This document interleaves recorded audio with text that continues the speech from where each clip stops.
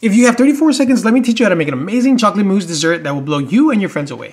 Start with melting your chocolate in the microwave at intervals of 15 seconds. Now for the heavy cream, we're going to whip it until it gets to hard peaks and place it into the fridge. Separate your egg whites because we're going to make a meringue. Whip your egg whites and add your sugar to make the meringue. You'll know when it doesn't fall, it's ready. Now with your heavy cream, mix in your chocolate and then fold in your egg whites. And that's it. Place the mixture into the mold, spread it out even, and into the freezer for 3 hours. Now pop it out and put your mirror glaze. Let them thaw out for 30 minutes, and then that's it. Enjoy and follow for more easy recipes like this one.